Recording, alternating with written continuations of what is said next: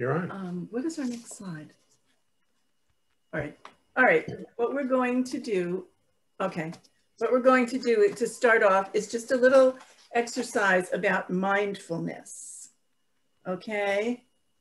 Okay. And I'm going to read from Adam Hamilton's book. So much of the anxiety we experience is a product of bringing the future into the present.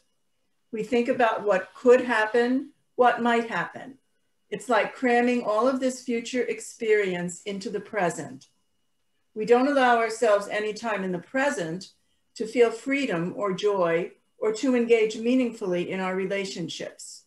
As a consequence of that, we feel anxious, we feel worried, we feel fear. The formal practice of mindfulness is geared toward allowing us to push away the depression or sadness from ruminating on the past and the worry, fear, and anxiety from thinking about the future, and instead allows us to be engaged in the present moment.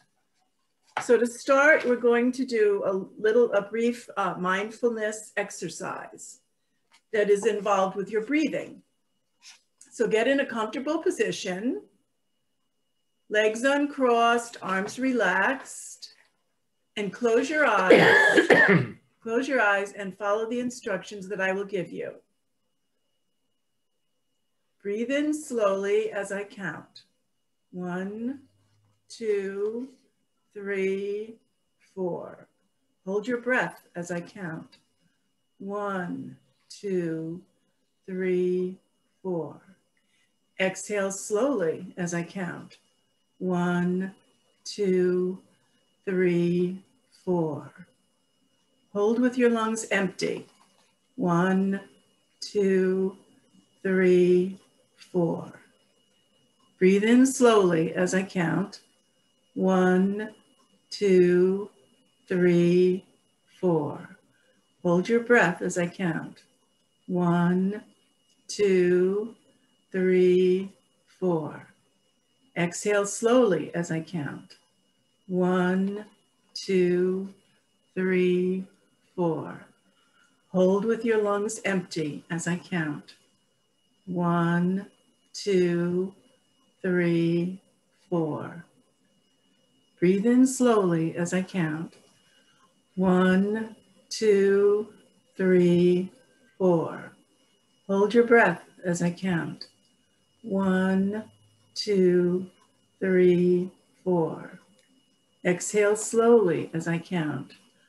One, two, three, four. Hold your hold with your lungs empty. One, two, three, four. Now keep your eyes closed. Breathe normally, and we will have the opening prayer. God who breathed life into the first human in Eden, you are as near to us as our own breath. Your spirit moves within us and around us. We are grateful for this moment and this day. Take our fears and worries about tomorrow and our regrets and hurts we carry from yesterday. We release ourselves and our time to you. Amen. Okay. Okay, we're ready for a video? Yep. All right, I'm gonna try it. See if it works.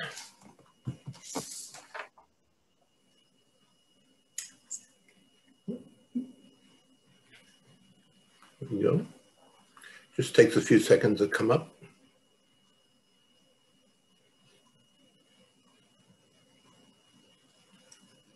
Can you see it? Can you see it over there? No. Huh? No. No, okay. Okay, let's stop.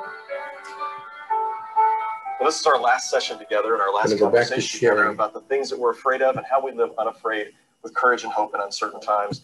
And we're going to talk about some of the most universal of fears. Uh, if you go back and study Buddhism, you find this is the beginning of the Buddhist quest for enlightenment was uh, the fear of growing old, How's that? the fear of getting Yes. sick, the fear of dying, and then ultimately we're going to end. Uh, the book ends by looking at the fear of the Lord. How uh, when we put our trust in God, somehow that, that addresses and affects all of these other fears. So fear of growing old, and, and you know, it's interesting, uh, in the book I mentioned this, that folks who are the happiest people in many of the surveys that have been taken across the country are those who are in their late 70s up into their 80s. And you just think, how interesting is that? Our assumption is that your happiest years are when you're in your 20s or 30s, but instead, somehow, when you're in your 80s, those folks on self reported surveys are happier than the folks who are younger. They've learned things, they've gained wisdom, their, their sense of uh, need to achieve or accomplish has, has really fundamentally changed. But I want to take just a second to really focus on this idea of the fear of sickness and our worry or anxiety around, uh, around our health. And Ginger, I know that's been an issue for you. Why don't, why don't Yeah. you say a little bit about So that? 15 years ago, I was diagnosed with multiple sclerosis, and it's mostly been in remission for 15 years, but it's in and out. Um, and it's medically controlled to keep MS quiet. But, um, you know, five years ago, I couldn't walk unassisted. I had a bad relapse, and steroids weren't working, and um, infusions weren't addressing it. And I really had to face I, this may not get better. This may this one may not reverse. Um, and so it was it was the fear of not only change, the way that I was living life was going to change, um, but what does this mean to everybody else around me? It's a change for my husband, it's a change for my children. Um, and I remember coming upon uh, Jeremiah line of "I knew you in the womb," and um, you know God calling Jeremiah to His purpose, and it struck me of like, Okay, so no matter what happens, God knows me. Um, I'm not necessarily a person with MS in God's eyes. I'm a person who might be able to teach something to people, or I'm a person that might be able to show faith despite um, major setbacks. And so, just that message of Jeremiah's call story indicated to me I know you. I know what you're thinking. I know mm. what you're about to say. And I've got you no matter what your body does. Mm. Um, and so it just felt like, use it then, God. And I really surrendered of, okay, so mm-hmm. what do you want to do with this? And that's mm-hmm. the time that I was feeling the call to seminary and, and the call to learn so you can teach. Um, and, and MS got better. Um, so I'm currently in remission, but I have that looming always. Um, always that it could come back. Um, but I don't live in fear as much because I know even if I'm not okay, it's going to be okay. Yeah. So you, for you, it sounds like you gave that to God. It sounds like that you invited God to bring you. You uh, okay? This may not Yeah. change. I'm going to seek medical treatment. I can be terrified of it, or I could say, God, take it and use it. Yeah. And that's exactly what's happening in your life. And there's no alternative in my eyes. I Right. mean, What is the alternative, Yeah, alternative, what is right? the Be alternative? terrified God, all the let's time. do something with this. Yes, Yeah. exactly. Yeah. Exactly. How about either of you? Have you had a moment where you were afraid of uh, whether there was an anxiety or panic or worry related to health? My, my mother uh, suffers from um, severe arthritis rheumatoid, and it, it, it wasn't until like a couple years that I started kind of having a little bit of the symptoms. And uh, I actually noticed it while playing guitar at church one time, and I realized like my hand wasn't responding as I, as I, as I wanted to. And immediately, just I was completely in panic. I was so afraid because I started thinking about the genetics uh, of how I might be carrying uh, the same the same uh, sort of illness, and so um, and it was very terrifying to think about that I would end as I see her struggling with her illness. Yes, absolutely. Any struggles you've had? Worries, anxieties, fears around health, or I see some older people that are able to jump flips and I'm not able to. and so, mm-hmm. like, what, what's your secret for life, for living, so that you can get the best out of mm-hmm. life? And I seek to get that wisdom from them of what I need to do to maintain the best possible me that I mm-hmm. can. When I see, um, be concerned about what how things how much things are going to cost the older I get. And when I step away from working, will I be able to maintain uh, my livelihood and care for myself, afford me- afford medication, afford to go to the doctor, afford to do the things that keep me healthy. yeah. I want to shift gears. So obviously, the fear of getting sick is, uh, and the worry that goes along with that is, is uh, is prevalent. And of course, most of the time, the things we fear in that area never come to pass. We, Right. you know, or uh, in, in your case, you know, you have MS, but you have been in remission. You've Yeah. Let's talk about the fear of death. And here, I, I guess I'd like to ask, you know, you're, you're all three doing pastoral ministry. And so where do you see, in, in the people that you minister with, uh, where have you confronted the fear of death? And, and, and how do you confront it? You know, I feared death less because of being a pastor with people in those last minutes. Um, that has been the gift of ministry to me. It, because I had a huge fear of death. And part of my list of things I wanted to get answers to in seminary, that was one of them. What happens when we die? What's this afterlife all about?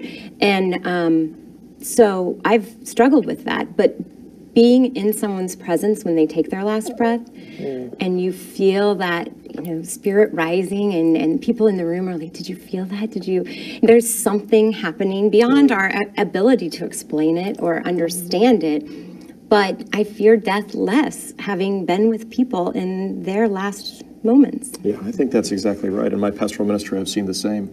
You know, we're, uh, we're wrapping up our time together in this conversation, but it just strikes me that in the Christian faith, the Easter hope, the belief that Christ came, he suffered and mm. died, and he rose from the dead was God's way of saying, of, of addressing this fundamental fear in our mm. lives that even death doesn't have the final word. And that ultimately, we live. Mm-hmm. Because I live, Jesus said, you shall live also. Therefore, you don't have to be afraid. Mm-hmm.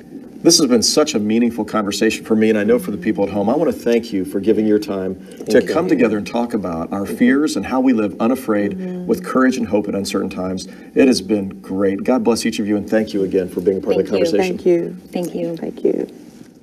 Well, as we come to the close of our last session together, I'm really excited to have the person who inspired my writing this book, at least one of them. And that is my wife and my best friend and uh, the mother of our children. A sign language interpreter is uh, her career, LaVon Hamilton. And LaVon, thank you for joining me. I know this is outside your comfort zone to sit in front of a camera, but I, I really felt like your story and your wrestling with anxiety was important in thinking about fear. And so I wondered if you might just say a little bit about what happened back in 1996 and, uh, and your wrestling with anxiety.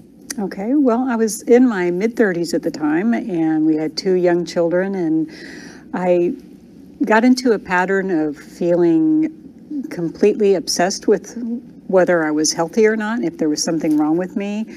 And I started worrying that there was something wrong with me. And as that continued, my heart would race and I, my palms would get all sweaty, and I felt like there is something seriously wrong. And throughout that process, I ended up in the emergency room several times, thinking that there, this is an emergency. There's warning signs going off in my head, and I need to to go get help. And as we continued to go through that process, I had a lot of phys- tests done physically to figure out what is, you know, what's wrong with my body. And they never could find anything. And as people would say, well, do you, have you ever thought about the fact that this might be anxiety? Or are you anxious about something? And I would look at my life and I think, well, I don't have anything to be anxious with, about. I have two young children and a husband who's a workaholic and never home and a career. And of course, there's nothing to be. My, my life is very relaxed. But I, I didn't pick up on the fact that this was fear and anxiety. And uh, it was a cycle that I couldn't get out of. You know, it's interesting how many people wrestle with anxiety and, and panic. Uh, you've had conversations with folks, you've spoken about this before. How did you finally find deliverance from that overbearing, overwhelming, oppressive anxiety? First of all, I had to make sure that there was nothing physically wrong with me. I had to go to the doctor and have the tests run and, and then come to the point of saying, okay, I have to trust the fact that this doctor is telling me there's nothing wrong with me. So now what do I do? This is not something physical. Now let's focus on the mental part of it. And that was a long process. It was probably two years before I felt like I'm kind of back to my normal self but it required me going to counseling. It required me talking to other people who had been through the same thing and realizing that, okay, these symptoms I'm feeling are the same things that someone with anxiety is feeling. I read books about fear and anxiety, and it helped identify those things within my, my life and helped identify my personality traits so that I re- recognize the fact that I'm more prone to worry and to anxiety. It required medication and willpower and just a lot of work. to get back to the point where you, where I felt at peace again. So I, I remember uh, those moments where you know you were anxious about leaving the house or going to church or being around groups of people, and the, uh, certainly not flying or going somewhere out of town or me being out of town. I needed to be there with you. But I also remember the first time we got on an airplane, you know, a couple years later. Actually, I remember before that you flying to England by yourself, and I didn't think that would ever happen. And to see, you know, and today I look back and I think you're not the same person at all, but but to see the progress, and I think there's a lot of people when they're in the middle of anxiety feel like there's no hope, I'm never going to get better. Did you feel that way at times? Oh, definitely. I, I mean, I, it was all I could do to get into the car and go pick the kids up from school. And I mean, I was to that point where I, I couldn't do anything by myself. And I thought I, I felt like I was in this pit that I couldn't get out of. And I thought that it's never going to be any better. And it's better to just kind of check out of the world. I mean, I really got to the point where I didn't want to go on because it, I had no hope that it was going to get better. And it, again, it takes time and having to just realize that you can get on the other side of it, that you're not destined to be in that dark place forever, that through work and faith, you can get on the other side. Well, I stand in awe of what's happened and the strength and the amazing. You have a strength of personality that I don't think you see or understand. And to overcome what you went through, uh, to me, is heroic. So I'm, I'm grateful and was grateful for you to come and, and sit here with me. I want to ask you one last question, and that is what role did faith play in, uh, in your overcoming anxiety, and what role does it continue to play in your life? Well, faith is a big part of overcoming anxiety. Even someone who doesn't necessarily believe in God, you have to have faith that it's going to get better, as we talked about before. That you that you're not going to stay in this dark place. You have to have faith that it'll be better. You have to have faith if it's a, a physical uh, concern that everything's going to be okay. That the doctor is telling you, you have to believe in what they're saying. And mostly for me, as a person of faith, I had to remember that my life is not my own. That my life is in in the hands of my of my Savior, and that I have to let go of any control that, any false control that I might have and know that my life is in His hands ultimately. Mm. Uh, the four steps that I've been teaching in this book, uh, the acronym for, for fear, you've really captured them all in this. Face your fears with faith. Examine your assumptions in the light of the facts, which is you know having the doctors look everything over and see what was happening. Attack your fears with action, which is exactly what you did in counseling and finding people to talk to, and and then finally release your fears to God. And in so many ways, that acronym and those four steps are what I've seen played out in your life.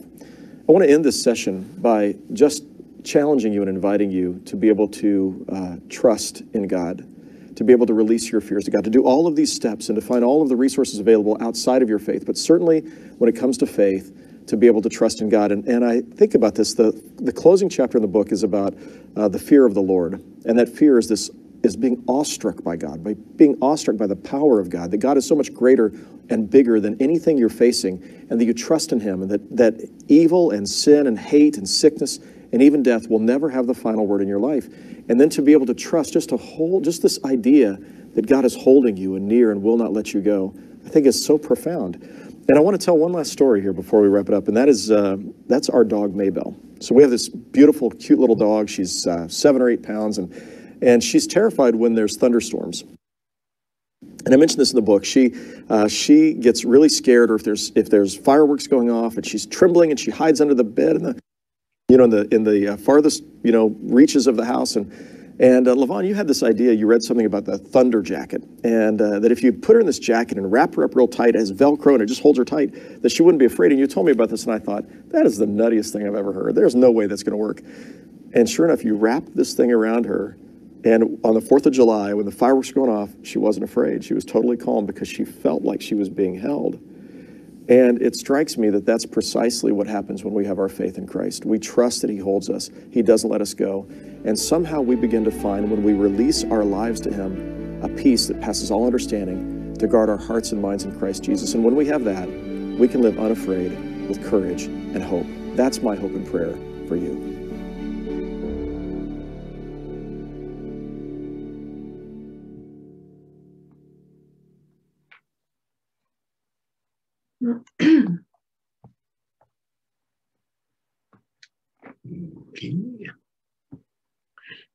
okay. stop that.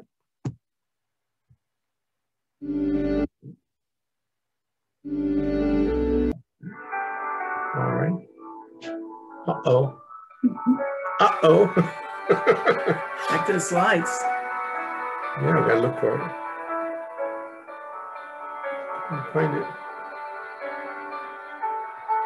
Well, this is our last session together and our last conversation Uh-oh, together about the go. things that we're afraid of. I found we it. live Unafraid with courage and hope in uncertain times. And we're going to talk about All right.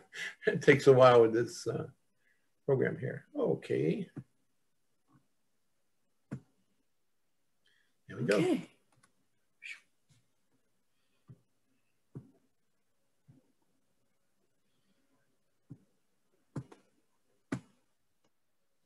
Oh, gee. Go ahead. All right, so after the video, how has Ginger faced the challenges of her multiple sclerosis and what role has her faith played? What do you think?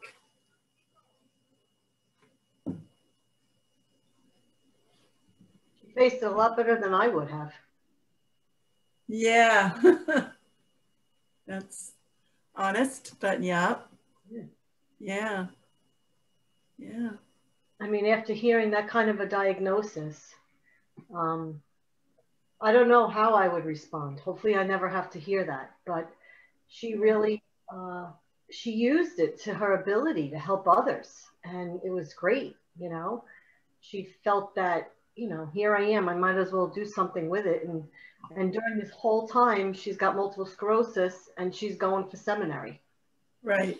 Like you know, most people would put that on the back burner and say, not yet, and when I'm better. You know, we always make excuses to do things. She mm-hmm. didn't use it as an excuse. Right. She used it as a tool. It was very inspirational what she said. Yeah. Yeah. Yeah. Yeah. And even though the fact that, you know, that, you know, she kind of lives with it, it could come back at any time. She doesn't let that paralyze her. You know, she kind of moves forward anyway.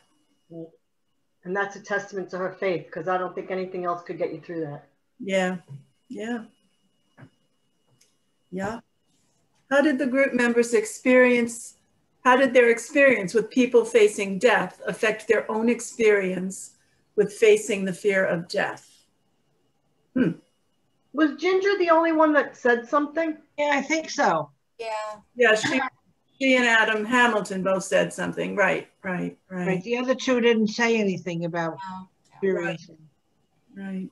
What did Adam say about that? Do you remember? I think he just basically agreed with what she said about being in the room of somebody and feeling, you know, this, the spirits leaving. Yeah. Hmm. You know, it's comforting uh, in a way to him Mm-hmm. Yeah. to see somebody else with faith dying. It's funny because, um, you know, working in a nursing home, Yeah, very different perspective on things in life at, at different stages in your life. And one of the things that um, I remember is the first time I saw on our census that somebody died. And I went, oh, and like, you know, I felt so bad. And and the one physician said to me, it's okay, Lisa, this is this is the cycle of life Hmm. and we all die.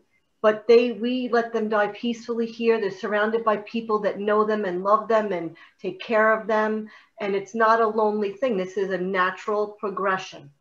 And when she said that to me, I'm like, okay, like, you know, I never thought of it in that perspective.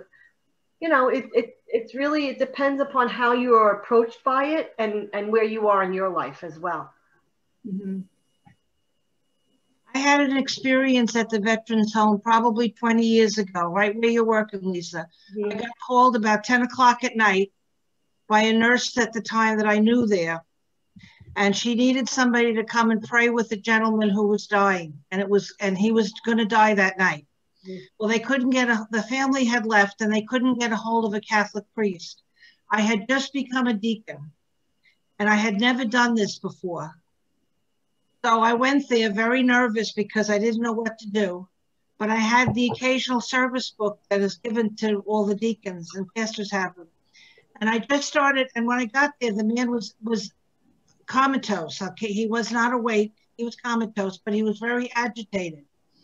And I just started reading scripture. And I could just tell he calmed down so much, his body just calmed down. And a couple hours later, at like three o'clock in the morning, I got a phone call from the nurse that he had passed, Hmm. but he had gone peacefully because of me being there and and just reading the scriptures. I read a few Psalms and and Matthew and stuff like that. And and I called the nurse in at the end, and I asked her. I said, "Would you uh, pray with me?" And we said the Lord's prayer together Hmm. over him, and it was just. I- I'll never forget it. It was, you know, he just calmed down from the whole, and then he went peacefully. It was amazing. I just gonna stay with me the rest of my life. Wow. I get choked up when I talk about it. So I guess that experience helps you dealing with it now. It does. It does. You know, I, I, I, you know, the older I get, I know fear, faith, uh, death is coming. You know, but I, I try to live each day to the fullest and try to do my best. You know, um, when they talk about the fear of sickness, I don't have fear myself, but I do have fear for my son because my son lost his eyesight when in his left eye when he was 14 and i'm always afraid that he's going something's going to happen and he's going to lose the eyesight in his other eye and i just have to trust that god's there Yeah. Sure. Yeah. Thank you. Yep. Okay. I guess we can move on. What? Thank you for sharing them. I, I, What steps did LaVon take to determine that the problem she was dealing with was anxiety? to make sure there was no physical problems that she was having. Right. That was like one of the first things she had to do. Right. Right. Right.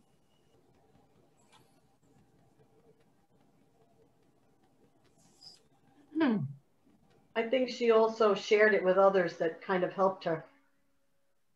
You know, not holding it in and and um, subsequently being acknowledged and verified, so to speak, that what's going on with her is very real and very true. And unless you've ever experienced a physiological change because of stress, it's very hard to understand that.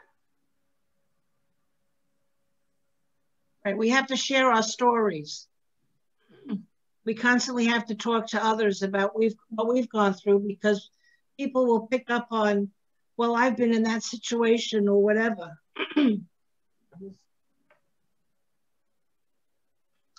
Why i talk a lot.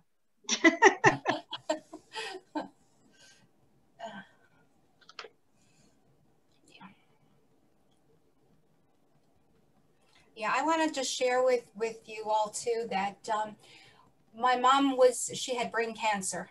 Um, she's gone 15 years now, and when she was in the hospital, um, Tom and I were there, and he had a call, and he went out, and I was just sitting there alone with my mom and my thoughts, and I knew she was passing, and this only happened to me. I'm going to get emotional. Mhm. Once in my life, but I had like a calming feeling just came over me. Mhm. I'll, I'll never forget the feeling. It was, it was the best thing, and it made me accept, you know, her passing much better. It was just like a golden feeling. I, I, I that's the only way I could describe it. Just a calming, golden feeling. And, you know, she passed not too long after that but it was just something saying everything is going to be okay. Right. It's going to be okay. God is in control That's exactly. Hmm. Exactly. that's why we always have to lean on our faith and the faith of others that get us through hmm Yeah.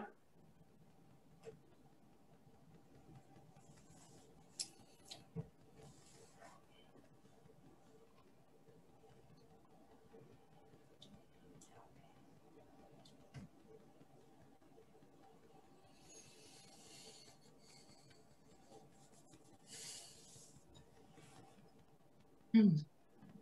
Linda, were you talking? Because we didn't hear anything. Which Linda? Hill. Linda oh. Hill. Are you moving to a next slide? We don't know what's, We can't hear either one of you.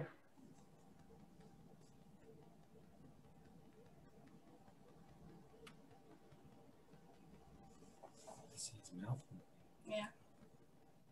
I can see his cursor moving. Yeah.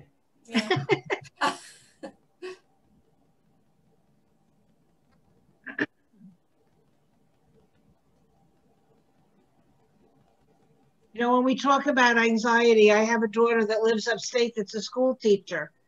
And right before the pandemic set in in February, she was out of work for over two weeks with anxiety. And that all developed in the beginning because she kept seeing the news about how the pandemic was starting and getting, and she was very nervous. And um, I mean, she's, she's come a long way in the in the 11 months since then but it was very hard for her in the beginning with the anxiety of everybody getting sick and everything. But um, but she also leaned on her faith. You know, that's Yeah. Pastor and Linda, we still cannot hear you.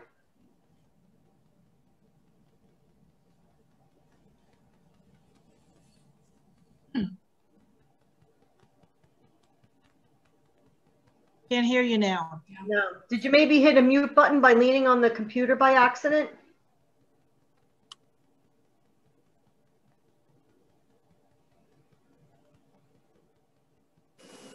I'm unmuted now again. Now you're Okay, back. that's, we gotcha.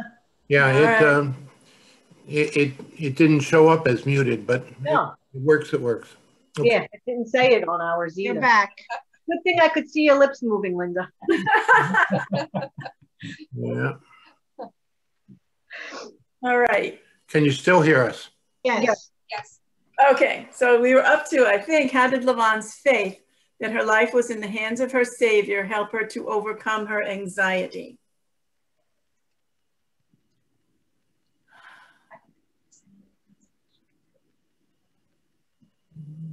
Hmm. Any thoughts on that?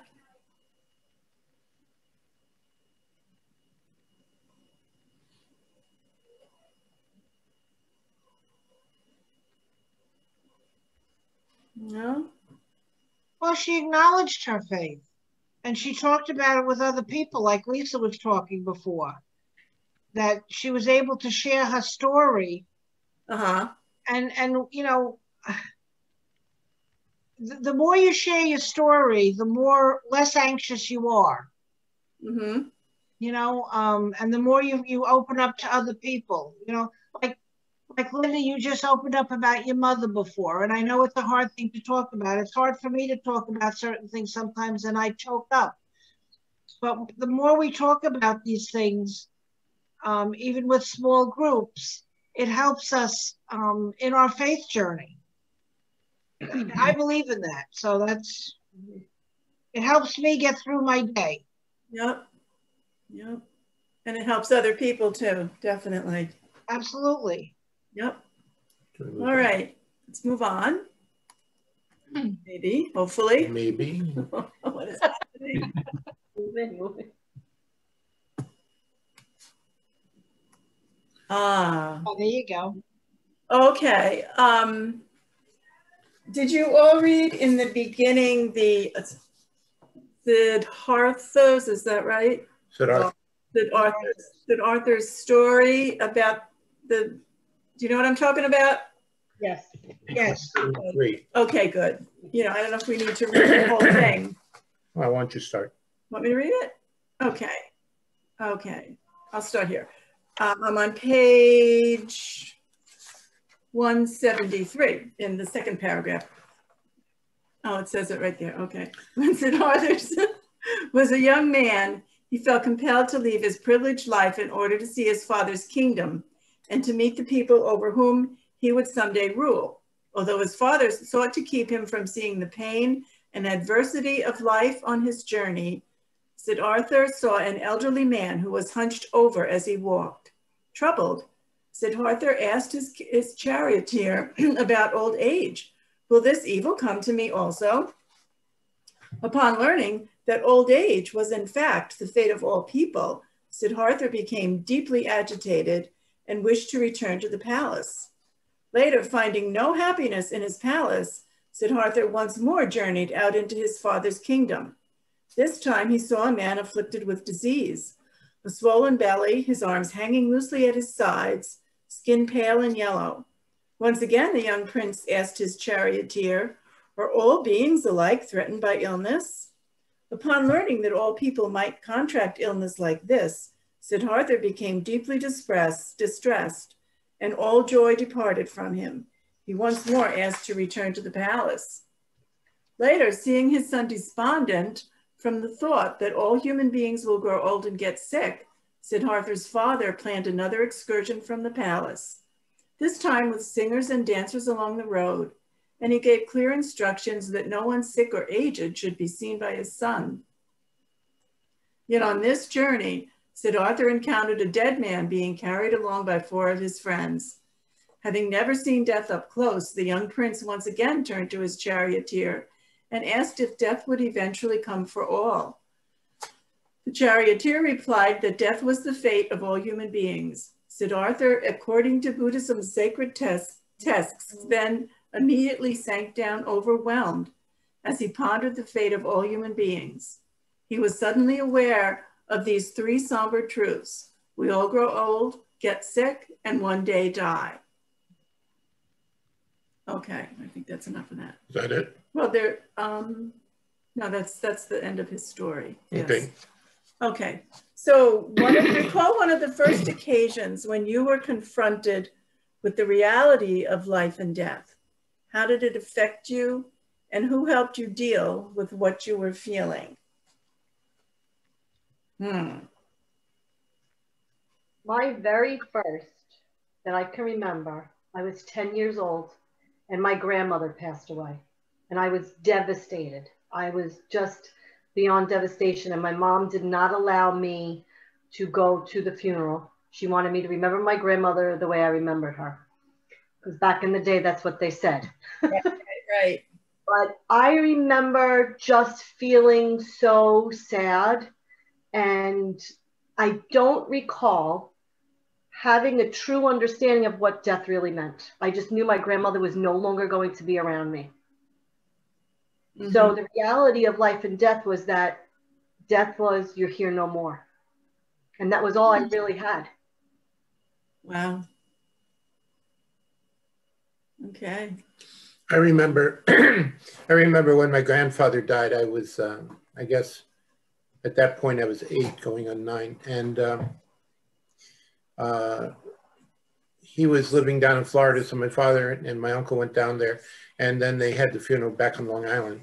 And I remember going to the funeral home, and we were uh, driving in the car, and uh, the radio was playing, and I heard some music on the radio. And every time I hear that music again, even now, uh, I'm brought right back to that day uh, going into the funeral home uh, remembering that. One of the things that made made me sad was the fact that one of the last memories I had with my grandfather was that he took me fishing and I had caught a fish. It's the only fish I've ever caught in my whole life, by the way. And uh, I caught that fish and I was so proud of it. And he took the fish off the hook and he said, oh, it's very small, let's put it back. And he threw the fish back. And I got very, very angry at him uh, because he you know, took my trophy and threw it back. And uh, since then, I've never caught another fish. Hmm. So there you go. Yes, you have. It just wasn't the fin kind. oh, thank you. yeah. So it did affect me. Yeah. Yeah. Still does. Yeah. Yeah. When I was a teenager, like maybe 13, 14, my grandfather had passed away in May, and he had had, had heart, heart problems. Um, so it was almost like expected when we got the call during the night that he passed. Yeah. But now that was May, that December, and we had my grandmother living with us at that point. And that December, that was like, you know, oh, he's older. Okay. But he was my age probably. Anyway, my his son, my uncle, my father's brother, 43 years old, died suddenly of a massive heart attack in his home. That really shook me because my cousin, who was my age, a, a girl, I cried. She wasn't going to have her father to walk her down the aisle. And it was, wow, it's not just old people who die. It was like that realization for me. And, and yeah, that, that, that really bothered me for years, years. I was always afraid something's going to happen to somebody else that's not old. Yeah. And then through the years, it has. Molly's husband died at 43. Yeah. That that was a a shocker to me. My mother-in-law was only 55. That was quick and sudden sudden. Hmm. And we just I just found out yesterday uh, yesterday that Sunday, a friend of mine that we worked that I worked with for many years, uh, when I worked for the Navy and when I worked at the FAA, um, passed suddenly.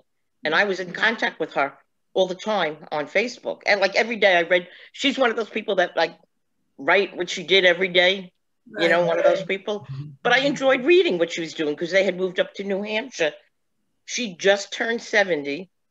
She had lost over 100 pounds over the last year and a half. her her um, uh, what do you call it? Diabetes went into remission and she was eating healthy and she suddenly died. And, and and it's like what do you do? You know what's the right thing to do you know to keep yourself healthy and alive? But it's in god's hands. I i, I have to truly you know understand that now. It's in god's hands. Absolutely. I was fortunate and I didn't have anybody, any grandparents or anything die when I was, was when I was young. My grandfather didn't die until I was married and I was about 25, 26 at the time. So he, he was in his 70s um, when he died. But the, the, the death that affected me the most was when I turned 37.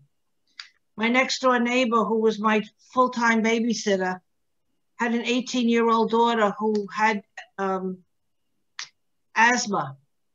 And she had graduated in 1989, uh, 1988 in the summer. She went to college in September of 1988. She came home for Christmas break and um, January 9th of 1989, she had an asthma attack at home. And prior to this, every time she had an asthma attack, the ambulance would come and take her to Brookhaven, would stabilize her, and then take her into LIJ. Well, this time they couldn't stabilize her. And so by the time I, I was finishing doing dishes, for whatever reason, I walked over to Marsha's house next door. And um, the paramedics couldn't save her. She was when they brought her down on the stretcher from upstairs. Um, she had already passed, really. And uh, so I followed the ambulance to the hospital, and I get to the hospital, and um, Marsha's there.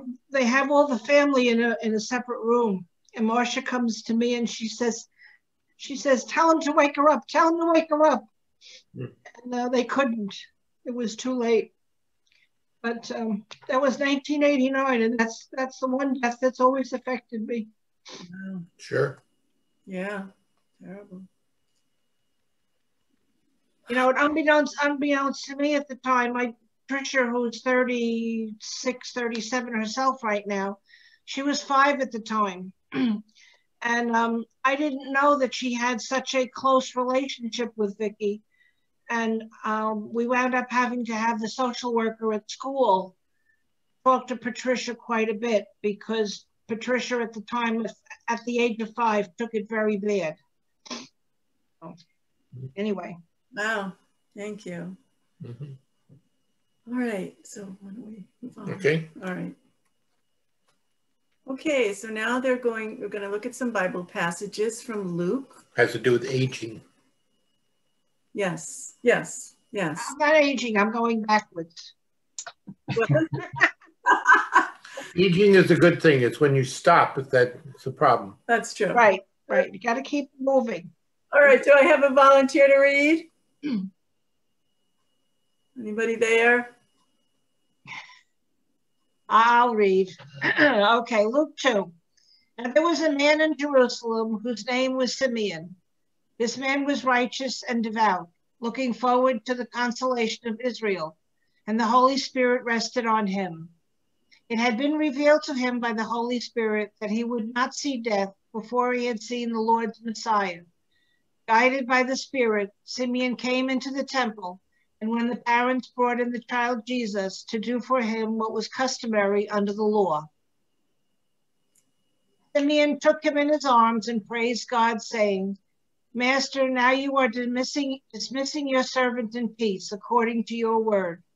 For my eyes have seen your salvation, which you have prepared in the presence of all peoples, a light for revelation to the Gentiles and for glory to your people Israel.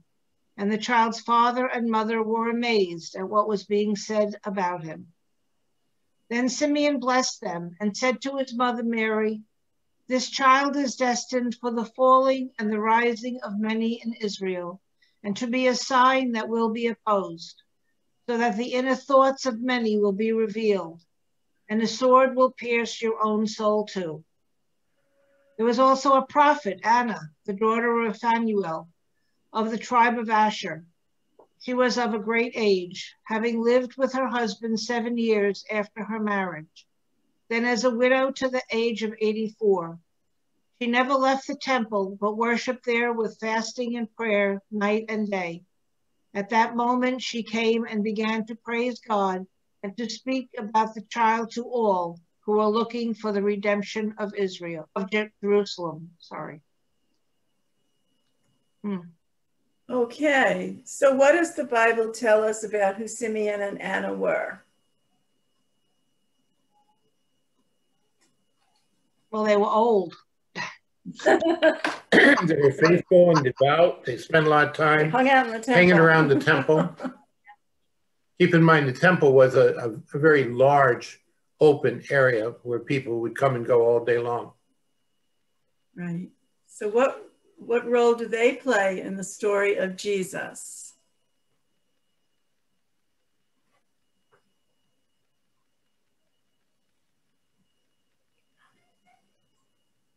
Well, they were the ones who, who recognized who he was, right? They, they had been waiting and, and their, their prayers were answered, right? Yes.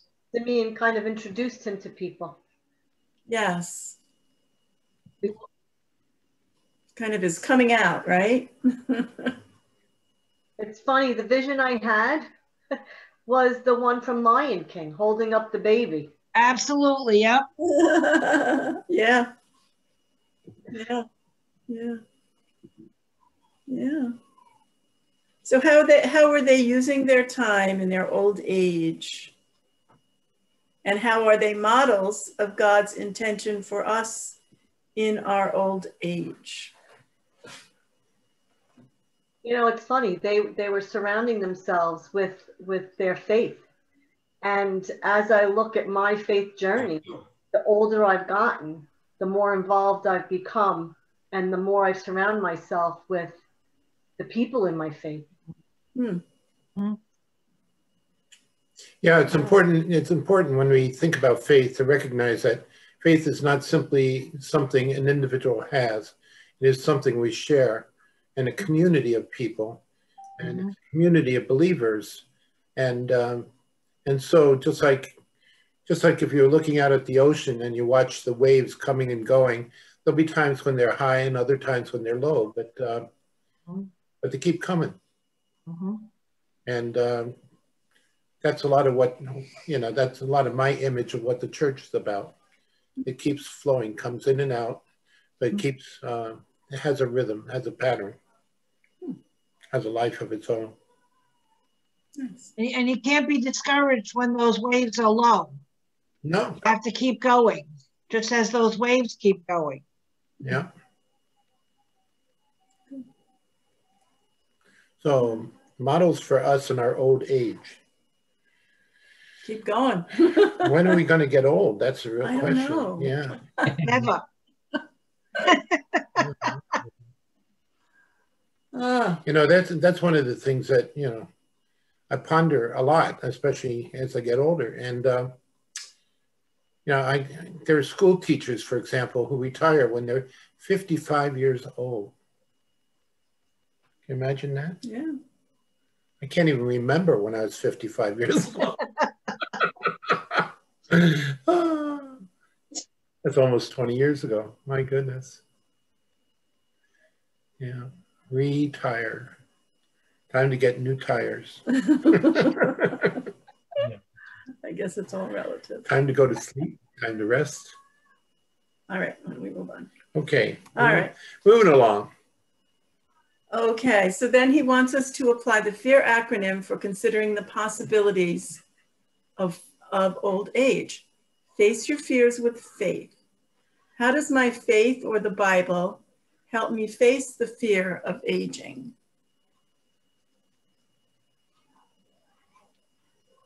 You know, after reading that chapter, I, I don't struggle with this fear, the fear of, of um, aging. I don't know why, I just don't. My husband does. And I want him to read that chapter in the book. But I, I was like, wow, you know, when you when you're reading things, it really enlightens you that all the things that they were talking about were done by older people you know and mm-hmm. and it's so true like you know when i was in my 20s i did a lot of stuff but it wasn't for me it was for everybody else in my family and i remember when i was in my um, late 30s early 40s i was like who am i? Who is lisa? Like i needed to redefine who i was because for that time period. So i think aging the bible has shown us that you know there are people we go through stages in our life that we are learning and and and um, sharing with others that aging is just a, a, a, great you use like my grandfather used to say youth is wasted on the young i'll never forget that i was a kid when my father told me that because when we're older we don't have the energy to do everything that we've learned but we have the knowledge to do things so we have to share it with others but it's just I, I think the bible just showing that it was the elders that were very productive in in doing things kind of helps yeah. Right. Yeah, look at Abraham and Sarah. Yeah. It, yeah. Yeah. The whole nation of Israel got started to them. Right. And I didn't think about it until I read that chapter. Right. Yeah. Yeah. And then, you know, what he said too about the surveys about people being most content. You know, I thought that was very interesting too, as as as they're older, you know. And in a way, there are things that you you don't worry about as much as you did. You know, you don't worry as much. Well, you still worry about your kids, but not as much. Mm-hmm. You know, you don't worry so much about money. You know, there's a lot of things that you don't. I don't worry about driving to work in the snow anymore. Believe it or not. right, me either. you know, I was worried about dying when I became a mom. When I first had my daughter Alicia, I was petrified of dying. And that was because I knew that this human being relied on me to survive. Now that I know my children can survive on their own, I don't fear it anymore, or as much as I did. Mm-hmm. But back then, I really feared it. And that was the reason why. Yeah, interesting. Yeah. Yeah. I agree with you, Lisa, because I remember that being, me and Mully used to talk about that all the time. Um, we were younger, much younger, and yet we had a fear of dying because we had children. What's going to happen to our kids? Mm-hmm. Yeah, I could relate to that. Yep. Oh, it's kind of like being on a roller coaster and you're on the upward bound part of it. And if it is a, a long upward bound part of it, then you know that something is going to be there on the other side. Mm-hmm. it's going to be really quick and scary. Hmm. Hmm. But when you're actually going down, it's a thrill. It's scary. it's a thrill. It's so. right, right, right. All right, moving along. Okay, so how can we attack our anxieties with actions and how do we release our cares to God?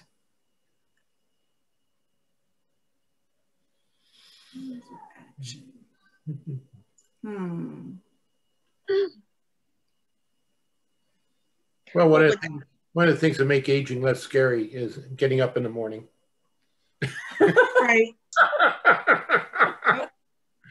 God woke me up again. Yep, yep. I think one of the things that I have started doing, and um, probably like quite a few years ago is I do a lot of prevention. I do a lot of prevent. I go to all my preventative medicine visits, you know, to make sure that I'm I'm going to be healthy down the line. Like I remember when I was a kid, I was in my I was before I was married, so I was in my early 20s or something. I was smoking. I smoked cigarettes, but every cigarette I had, I kept saying to myself, "You're giving yourself cancer." But I still smoked it. But I was very aware of what I was doing. And then when I became, you know, more aware, I, I started doing things for the health of, of this where I'm at now. You know, not know well knowing that this is where I wanted to be a healthier person. So I think I um I think that makes it less scary for me because I see people who are older, like my grand, grandparents and aunts and uncles lived in Florida. They lived to be in their 80s and 90s and healthy. And I'm like, well, I want to get there, you know. So I kind of like gave that myself a goal. Like I'd like to sign up for that age, but I want to be able to do things. So, you know, I exercised at some points in my life. Um, I, I, as you all know, I'm on that wellness lifestyle that I've been on for three years now, and I feel great and I feel better now than I did ever in my entire life. And a lot of it is mind and body. So it's um, that's what makes it less scary for me, I think, because I feel like I'm going in the right path to do things. I don't want to get arthritis, so I move, you know. I try to do everything prevention, and I think that's what helps me. Plus, it's in God's hands. I always believe, you know, his path is where he leads me, not my path. Yep. Yep. Like you were saying, Lisa, the same thing. Um, I make sure I go to all my doctors, Mhm. um, even if something isn't wrong, up time for a follow up. Mhm. Which today I'm having a little anxiety because I was supposed to see my cardiologist just as a follow up, but I can't get out of my house with my foot. I, I can't until the snow is gone enough Yeah. that we can maneuver me out. I can't do it. I physically can't do it. So all day I've been thinking, oh my gosh, I hope everything's okay. Oh my gosh. But then I'm thinking back the night of the fire here in the house. Um, I went into the hospital for mild smoke inhalation. They had me hooked up to everything, heart monitors and everything. And everything was fine. I was there for over an hour that they were monitoring everything. So I went, I think I must be okay. I think I must be okay. So um, I have to tell myself, yeah, you know, calm down, calm down. Yeah. And um, it's yeah, but I I do, and and and what is one of the things though right now that that's with my foot. A lot of the problem is my RA. It's slowed down the healing. Mhm. And then to be told, yeah, well, your RA, I've got, they found more arthritis in my foot. It's like, what am I supposed to do? I can't control that other than going for my infusions. And even that is just controlled just so much. But I got to make sure I'm going. That's it. Do what the, it, it, it reminds me of God with the, um, the flood, the guy in the house. Yeah. You know, he sent the rowboat, he sent the helicopter. Well, there's my rowboats, there's my helicopters. I got to go to my doctors go to them go to them when you're being told to do this or do that and he knows what i need and when it's time that'll be it Mhm. but that's it that makes it less scary for me though Yes, yes. doing doing all my my follow-ups and Right. doing Right. what the doctors are telling me Yep. but Well- the whole issue with losing weight though lisa help lisa was my lisa was such an inspiration to me at the beginning oh lisa You there? I got to get back on it. on. Yep, yep, we're- Oh. Okay, when older seems happier.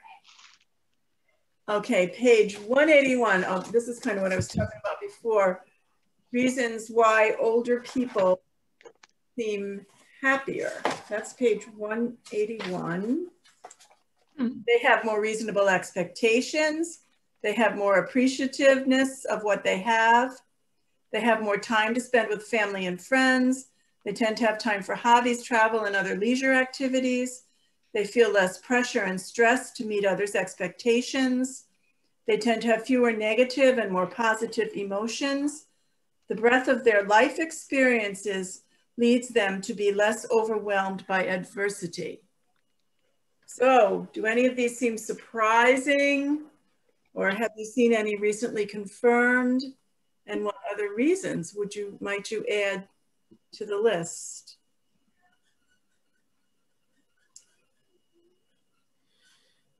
what do you think? I laugh because, like I was saying before, when I was taking, when I started exercising and stuff, the one thing that um, I chuckled at as I was reading was, um, where is it? That they they feel less pressure and stress to meet others' expectations. It's like, you know what? I need to meet my own. Mm-hmm. I was tired of being that person, that daughter, that wife, that mother. Like, you know, what do you, what do I expect from myself? Mm-hmm. Mm-hmm. Yep. Yeah. I, yeah. I yeah. Wholeheartedly. Yeah. A certain freedom. There is a certain freedom that that comes with it. I use the excuse I'm old now. You know, I'm I'm entitled to. What you see is what you get. Mm-hmm. Yeah. Yeah. Yeah. You know, I don't have a hidden agenda. You know, um, I try to please people, but you know, I please myself first. If I want to do this today, I'll do it. But exactly, exactly. Right, right. Yeah, I know what you're saying. Kind of that, you know, it's okay. You know. Yes. Right. You don't have to do things a certain way or be a certain way. You know. Right. Yep. It doesn't really matter. Right. In the big scheme of things, does it really matter? Yep. Yep. All right. yeah, I would just add one one uh, reason to the list, and that is uh, having a sense of mission. Mm. Mm-hmm. Having a sense of mission. You know that that there's a purpose for me to keep going. Mm-hmm. Uh, you know, tomorrow is important, not just today, and so on.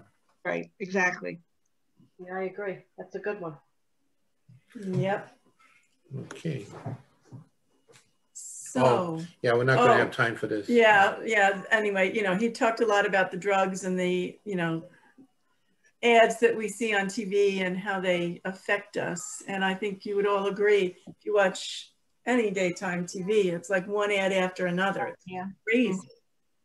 Mm-hmm. And and you know, the doctor still has to prescribe it. So I don't know what they're thinking. Yeah. I don't know. It's funny that, yeah. You see yeah. something on TV and say to the doctor, I have to have this, I have to have this. And doctor, the doctor's going to listen to you say that. Yeah. Or we go, oh, I'm on that. All right. Yeah, yeah, Why don't we move beyond the ads right. of the pharmaceutical companies? Uh, this is much better. Okay. Come up with an ad for prayer as a response to the worry about illnesses. That's kind of a fun thing. What promises does God make about prayer? What visuals will accompany your ad? What are possible side effects? Hmm. Well, definitely a side effect would, would be um, uh, less anxiety. Right, would be reduced anxiety. Very good. Peace of mind longer life. mm-hmm. Yep. A future. The future, right. Visuals would be like the background I have. Yep. Yep. Colors. Yeah. Very peaceful. Peacefulness. Yes. Positivity. Yep. And the promises that God would make um, is that you are never alone. Right. Absolutely. Right. Right. You're never alone. Right. Very good. Okay. Then we go to LaVon's story about anxiety. Okay, she gave quite a spiel there. If you had the symptoms LaVon describes, would you consider that anxiety might be involved? How familiar are you with anxiety disorders? And what do you appreciate about the way LaVon relates her experience? Hmm. I thought she was very brave to share all of that. She really went through a lot. And she didn't give up. Mm-hmm. You know, she kept, she kept, you know, even though she went to seminary late and everything, she. We're talking about LaVon. Talking about LaVon. We're thinking of, we're talking about oh, the wife. Oh, I'm thinking of the other lady, right, right. Yeah, the, yeah, the wife. Yeah. Yeah. But LaVon didn't give up. Nope. No, no. No. And I thought it was interesting too that she didn't complain about her pastor. She complimented him actually, didn't she? What's that? Complimented him, didn't she? Yeah, well, it, you yeah. know, it's a tricky thing, you know, for the wife of a pastor to be in that position, you know. Mm-hmm. Who do they go to for to be, you know, as their pastor? Right. Right. Right. They're kind right. of stuck. right. and, and I think people don't realize how debilitating anxiety disorders can be. You know, right. anxiety and depression, usually they go together, which she mentioned a little bit of that. I'm getting to be a little clinical here. But, you know, when she talked about not being able to even get in the car and pick the kids up from school, right. you know, that's right on the line between depression symptoms and anxiety symptoms. Yeah, I, I think a lot of us don't understand unless you've been through it in some capacity. Right. You know, or have, and it's not that you have to physically go through it yourself, but have a family member.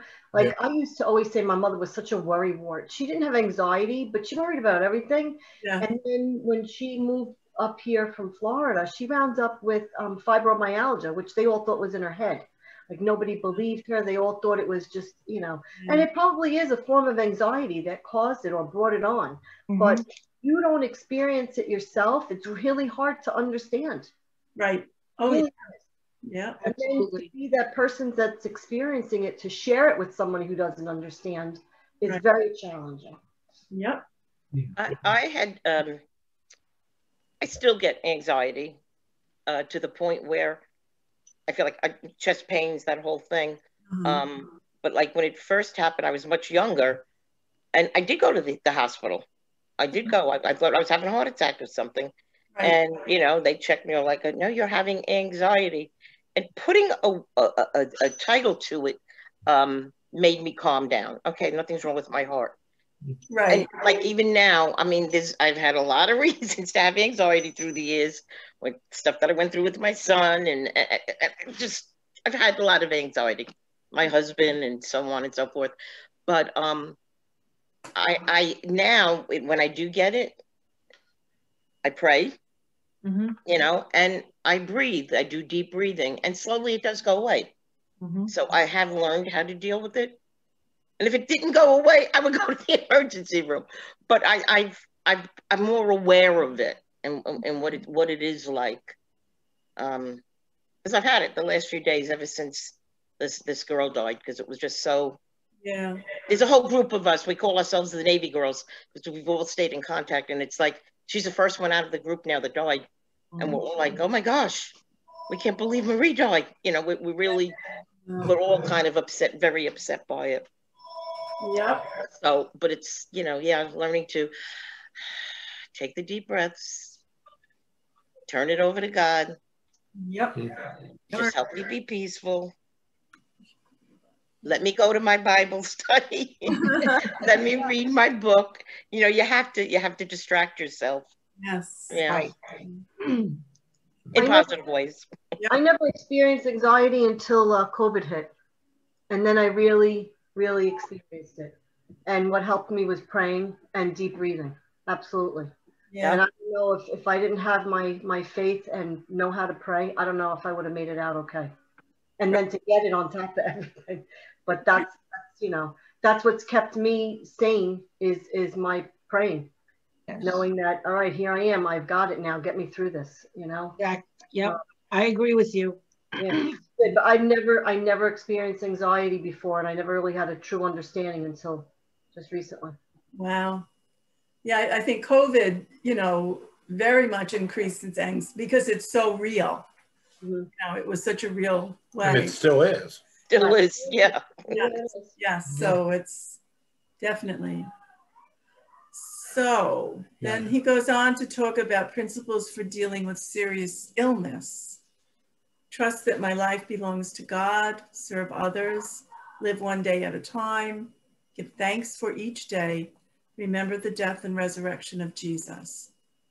So as you imagine the difficulties of facing serious illness, which of these feels like the most difficult to do? Which is surprising? And which, if any, are you following now?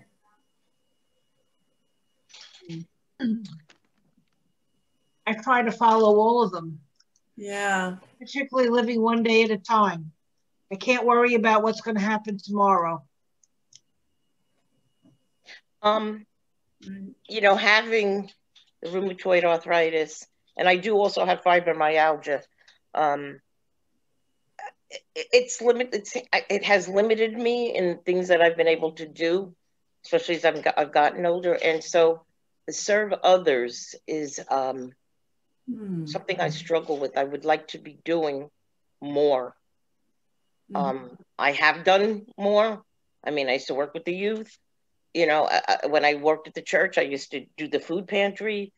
Um, there, there was more. I did more, and and that that right now that I'm, I'm limited what I could do. I mean, I couldn't even get to uh, bell practice last night. Yes, but you don't realize, but you right, but you are you are um, a blessing to others now because you're participating in this Bible study and you're sharing your feelings. So when this goes back out on Facebook and YouTube, people are listening to our comments. And I think it's so important that we do have this dialogue going back and forth because people will listen to this and then they'll they'll think about the questions and how we answered them. And so I think it affects others. So you are doing a service. Mm-hmm. Good point. Yeah. Well, I, I think there's Stephen ministers also. I keep yes, reminding yes, myself absolutely. of that. Yes. Um, well, and come on, Donna, just who you are, all your things you put on Facebook and everything. absolutely, absolutely. Yeah, you know. All of these little. But it's the. It's, I used to be able to do more. You know, it just. Uh, yeah, know, but you can't be discouraged about that. Yeah, you know, you I know, I know. You are doing a lot. Mm-hmm. Yep. Yep. Your heart is in the right place, Donna. Thank you. It is. All right, let's see what we have next. Oh, Okay. now we're getting on to, into some heavy stuff. Oh, yeah. yeah. It was a very- very long uh, session. Yeah, I don't know how much more that. Yes, I know. We're, um, That's okay. Good session. So, I needed it. okay. For we know that if the earthly tent we live in is destroyed, we have a building from God, a house not made with hands, eternal in the heavens. For in this tent we groan, longing to be clothed with our heavenly dwelling. If indeed, when we have taken it off, we will not be found naked. For while we are still in this tent, we groan under our burden, because we wish not to be unclothed, but to be further clothed, so that what is mortal may be swallowed up by life. He who has prepared us for this very thing is God, who has given us the Spirit as a guarantee. So we are always confident, even though we know that while we are at home in the body, we are away from the Lord, for we walk by faith, not by sight. Yes, we do have confidence, and we would rather be away from the body and at home with the Lord. So whether we are at home or away, we make it our aim to please Him. For all of us, must appear before the judgment seat of Christ, so that each may receive recompense for what has been done in the body, whether good or evil.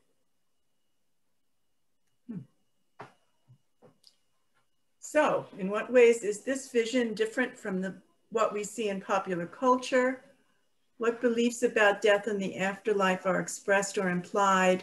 In what way does this scripture offer comfort? Mm. I have to say that the reason I wanted to read that passage of scripture is that it uh, reminded me of the second time that I was uh, having to deal with death in my own experience. and that was one morning uh, around two or three in the morning when I heard a lot of commotion from downstairs. And it turned out that uh, um, my, my aunt, who was the youngest of uh, the uh, children of my grandparents, uh, had died of a cerebral hemorrhage in the hospital. And uh, the family was gathering around our dining room table uh, to talk about the whole thing. And the pastor came. Pastor Shea came. It must have been three o'clock in the morning. And I sat at the top of the stairs and I listened. And that was a passage of scripture that he read. Hmm. Ah, wow. How old were you again? Do you, I can't recall. oh, 10 maybe, yeah. wow.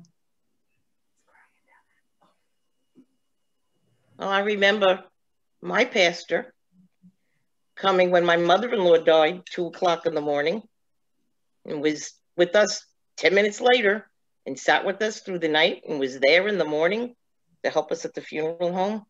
Wow. My pastor. That's you, Pastor Hill. It was always a com- that was such a comfort. That's where I learned it. Yeah, two o'clock in the morning. Wow. So, It kind of, the interesting thing about it is the reference to a tent. And tents uh, are by their very nature uh, temporary. So when we think of things as being that sort of thing, uh, it helps us to uh, put things in perspective. There's some things that are temporary and some things that are eternal.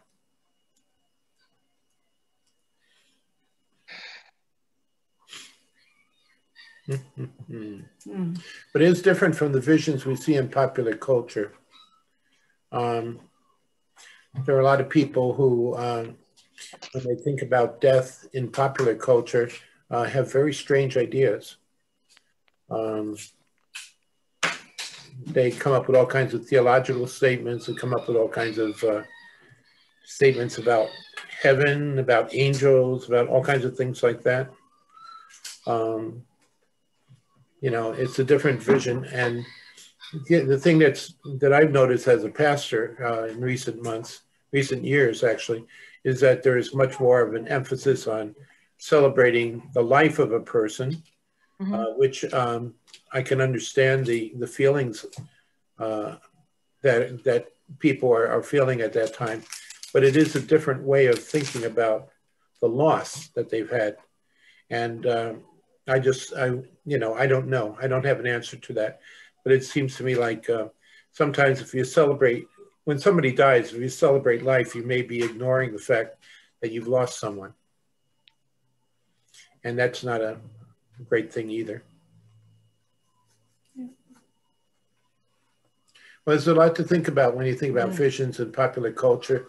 And uh, believe me, with all the Netflix we've been watching in the past uh, uh, 12 Yeah. months, uh, we've seen many, many images uh, of how people deal with, uh, with the reality of, of suffering and death.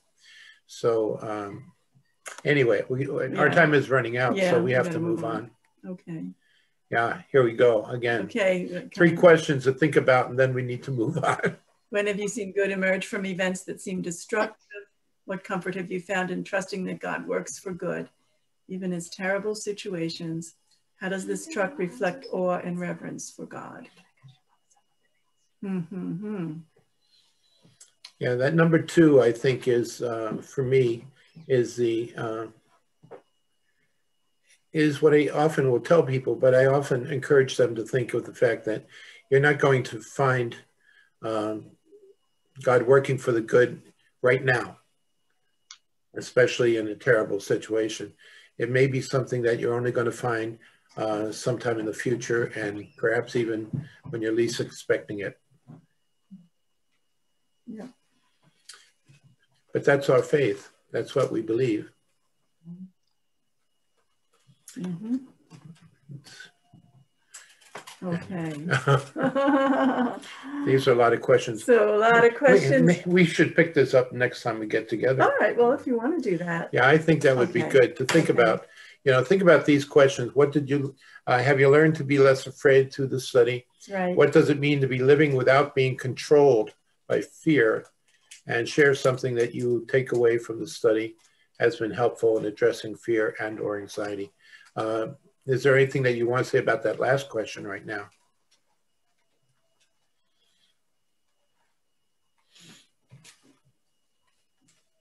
Well, I think, I think it's been very comforting. I, I think all of it really Yeah.